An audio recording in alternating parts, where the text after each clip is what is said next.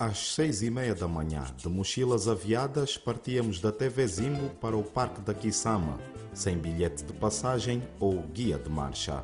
Uma viagem tranquila, com vários lugares únicos que merecem uma paragem, como o Miradouro da Lua, assim conhecido pela semelhança com a superfície daquele planeta. Aqui, enquanto os geólogos estudam os fenómenos baseados no recuo do mar, nós deliciamos-nos com a beleza do local. Seguimos em frente pelo tapete bem asfaltado, sempre com a cabeça a virar para os lados, porque os olhos queriam ver e o cérebro registar tudo. Antes de mais uma saída do carro para esticar as pernas, já os animais começavam a mostrar-se. Assim chegamos a outro ponto. Fofa pátria, tudo é papo furado, interesse. Conheço. Com as devidas precauções, mais uma pausa para apreciar o rio que corta parte do país. Estamos a falar do rio Kwanza, que nasce na província do Bié e vem desaguar no Oceano Atlântico. É um privilégio apreciar esta paisagem enriquecida pelo canto dos pássaros. A aparente calmia do rio impõe respeito e a vegetação faz-nos lembrar a diversidade da flora angolana. Mas enquanto estivermos aqui, por cima da ponte sobre o Kwanza, muito cuidado para que a aventura termine bem. Estradas perovite, ponte que cai, isso nunca mais. Já faltava pouco para chegarmos ao destino. O verde à beira da estrada continuava a dominar o nosso horizonte. A aventura estava só a começar. Os 75 quilómetros de estrada chegaram ao fim e a partir deste portão tínhamos mais 50 quilómetros de picada pela frente até a zona onde ficam os visitantes. Querida pátria, ai meu amor, tempo de salo já chegou. Não desbunda tanto, mambeira. Ah, A cerca elétrica limita o espaço dos animais e tem praticamente os mesmos quilómetros da picada. Pouco depois está a última porta de entrada que dá para o alojamento. Assim chegamos ao Parque Nacional da Kisama, fundado em 1958. O Ministério do Ambiente tutela a reserva com o apoio da Fundação Kisama. A região, com quase 2 mil quilómetros quadrados, é atravessada pelos rios Kwanza e Longa e a temperatura média anual ronda os 24 graus Celsius, nada melhor para as espécies animais que aqui vivem. À chegada, lá estava a Dona Elsa, que faz a gestão do Mushima Bar, que logo nos foi mostrando as maravilhas do lugar. Angola, meu amor, pátria querida, Angola no coração. Foi tudo pensado ao pormenor neste local. Se quiser descansar, os quartos para casais e solteiros estão preparados. Por 12 mil kwanzas tem um quarto com ar-condicionado e esquentador. As refeições com sabor caseiro andam à volta dos 2.500 kwanzas por pessoa.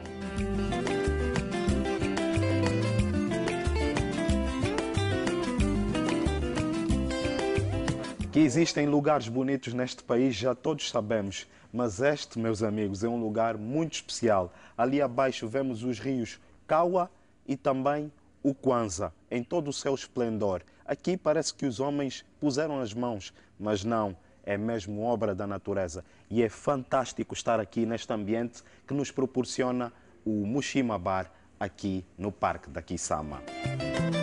E é para lá que descemos, porque é sempre melhor viver a emoção de perto. Entre subidas e descidas, demos com o rio. Por 1400 kwanzas passeamos pelos dois rios, o Kawa e o Kwanza. É de ficar de boca aberta. O verde das margens e tudo à volta transmitem-nos uma sensação de paz interior que poucos lugares proporcionam. Nesta nossa viagem pelo Parque da Kisama, viemos Rio Kawa acima. Agora vamos entrar para o seu pai, que é o Rio Kwanza. Vamos entrar para uma zona como se fosse uma estrada para chegarmos ao Grande Kwanza.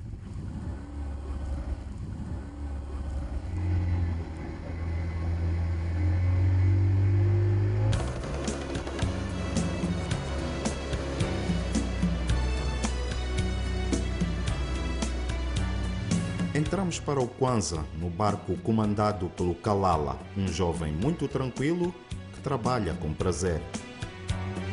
Gosto bastante porque tenho sabido agradar os turistas que tá, cá vêm e faço isso muito bem, com, com toda a vontade. Eu sou ainda daquela terra.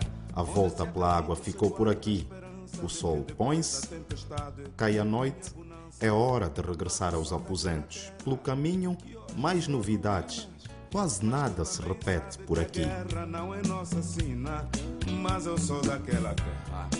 São 6 horas da manhã, vamos partir em busca dos animais no nosso segundo dia de viagem aqui ao Parque da Quissama. Vamos neste Unimog com o nosso guia, o Cota Teixeira da Silva, que nos vai levar a conhecer mais este Parque da Quissama. Opa! Ah, isso é que vai ser agora. Mas eu sou daquela terra. Mas eu sou daquela terra e gosto tanto dela. Logo ao nascer do sol, um gunga com um chifre partido. Provavelmente terá perdido numa batalha com um macho mais novo, foi expulso da manada e certamente vai morrer solitário. É mais um a provar a teoria da seleção natural de Charles Darwin. Depois apareceu a fêmea, desconfiada. O gulungo também respondeu à chamada matinal. A avestruz estava pronta a correr caso fosse necessário, mas não foi. Continuamos a viagem, curiosos para ver o que ainda estava para vir. O nosso guia conhece os caminhos todos para chegar rapidamente aos bichos. Mais à frente, encontramos o espertalhão do macaco preto, que fintava sempre o Ricardo, nosso câmara. A mãe viado com o seu filhote devem ter pensado na nossa viagem e resolveram posar para a câmara. Os outros andavam pelo parque com os animais. Entre uma paragem e outra, não nos cansamos de admirar o potencial deste pedaço de terra bem perto de Luanda. As girafas, ora em família, ora com os amigos gnus, prenderam a nossa atenção.